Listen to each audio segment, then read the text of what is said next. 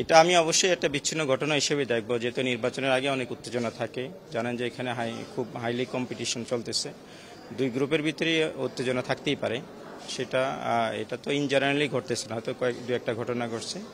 আমরা এগুলো যথাযথ আইনগত ব্যবস্থা গ্রহণ ডেফিনেট আমি তো বললামই যে আমি আইনগত যে ব্যবস্থা নেওয়া দরকার এই ধরনের ইনজুরি ক্ষেত্রে যে ব্যবস্থা নেওয়া হয় আমরা সেই ব্যবস্থা যথাযথ আমরা ওইরকম আশঙ্কা করতেছি না।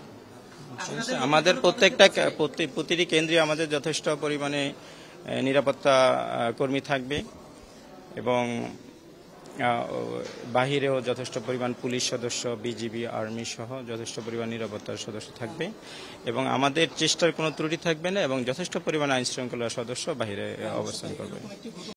দেখেন অভিযোগ যে কেউ করতে পারে আপনি বুঝতে পারেন যে আমরা কতটুকু আন্তরিক যে আমরা এখানে এরকম ঘটনা ঘটছে, আমরা পুলিশ প্রশাসন সাথে সাথেই আমরা ঘটনাস্থলে গিয়েছি, আমাদের ওসি সাহেব এখানে আসছে, আমি নিজে আসছি তখন বুঝতে পারেন যে আমাদের আইন শৃঙ্খলা শৃঙ্খলা রক্ষা করার জন্য আমাদের চেষ্টার কোনো ত্রুটি থাকবে।